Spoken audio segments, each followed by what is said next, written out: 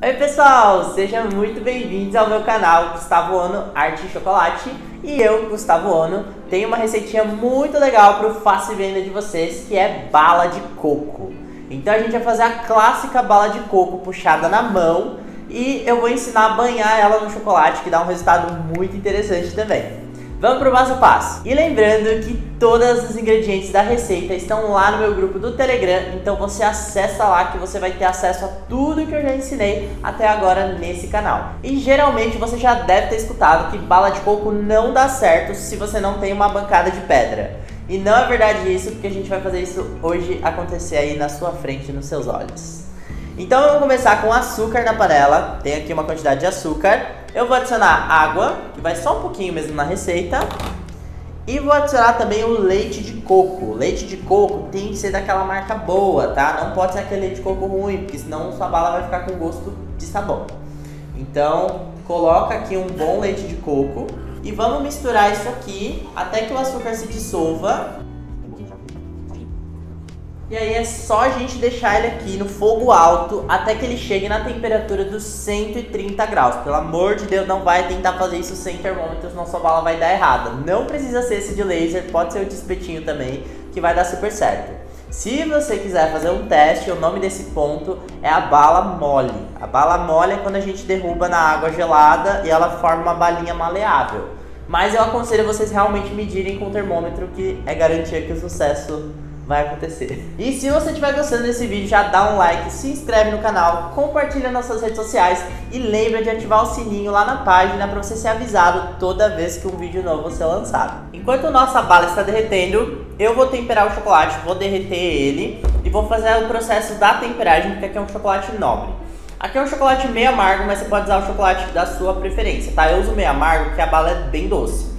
Então a gente coloca o chocolate meio amargo para dar um contraste no sabor e não ficar aquele excesso de doçura. E se você não sabe como fazer a temperagem de chocolate, você vai lá pro meu primeiro vídeo onde eu faço urso de chocolate, onde eu ensino a fazer uma temperagem perfeita, super rápida e prática. Então pra gente conseguir fazer a bala sem a pedra, a gente vai precisar de tapete de silicone ou folhinhas antiaderentes. Quem me conhece já sabe que eu amo essas folhinhas, que elas são super maleáveis e bem tranquilinhas de trabalhar. E a gente pode colocar qualquer coisa aqui assar que não vai grudar nem nada, ela aguenta até 300 graus de temperatura, é maravilhosa. Então é legal a gente pegar um pouquinho de manteiga, dar uma montada, não é nem para não grudar, é só pra bala não ficar muito elástica aqui. Essa manteiga, essa capinha de manteiga protege a bala de açucarar também. E aí a gente consegue pegar com muito mais facilidade, não gruda todo na sua bancada na hora que você for fazer esse tipo de trabalho. E agora que a nossa bala chegou na temperatura dos 130 graus, com muito cuidado, que isso aqui está muito quente, a gente vai despejar isso aqui no nosso tapete. E aí a gente vai esperar isso aqui esfriar um pouquinho. Quando a gente conseguir pegar nas bordinhas, a gente vai jogando pro centro, esfriando bem aos poucos, pra gente chegar no ponto que dá pra puxar ela com as mãos. E lembra que antes de manipular, você vai ter que passar um pouquinho de manteiga na sua mão para não grudar a bala e aí pode acabar queimando, não é legal. Ó, passa bastante gordura na mão e aí você consegue jogando pro centro aqui, ó.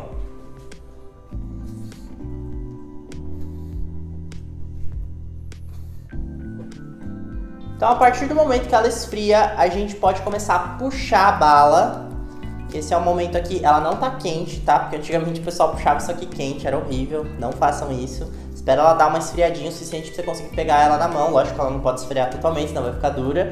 Mas é só você ir trabalhando aqui, ela vai ficando esbranquiçada e acetinada. Quando ficar bem branquinha, quer dizer que ela tá pronta e aí a gente já pode cortar as porções dela.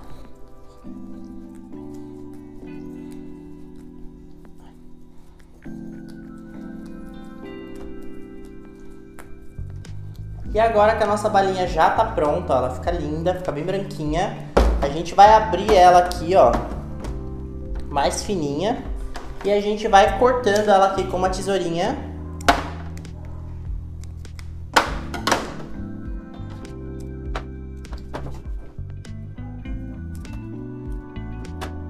E agora que a gente cortou aqui todas as nossas balinhas, vamos deixar ela dar uma boa secada. Não deixa elas juntas, senão elas podem acabar grudando, que elas ainda estão um pouquinho molinhas. Quando esfriar totalmente, ela fica 100% sólida.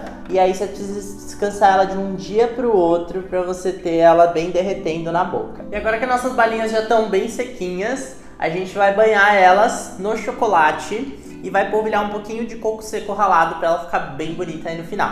Então eu tô aqui já com meu chocolate temperado. Eu vou pegar aqui uma balinha, a gente joga no chocolate, mergulha, tira aqui, ó, bate bem para tirar o excesso. E a gente coloca aqui. E a cada quatro que você banhar, você vai pegar aqui um pouquinho do coquinho e fazer uma finalização para a bala ficar bem bonita. Então agora que a gente já finalizou, a gente leva para geladeira por mais ou menos aí uns 15 minutinhos até o chocolate cristalizar e tá pronta a nossa bala de coco. E essa aqui é a finalização da nossa deliciosa bala de coco. Isso aqui é um bombom de bala de coco, super gostoso. Tem uma camadinha de chocolate amargo para dar um contraste. E tem também a balinha bem docinha com gosto de coco por dentro. Eu espero que vocês tenham gostado e até semana que vem com mais uma receita deliciosa. Um beijo e tchau!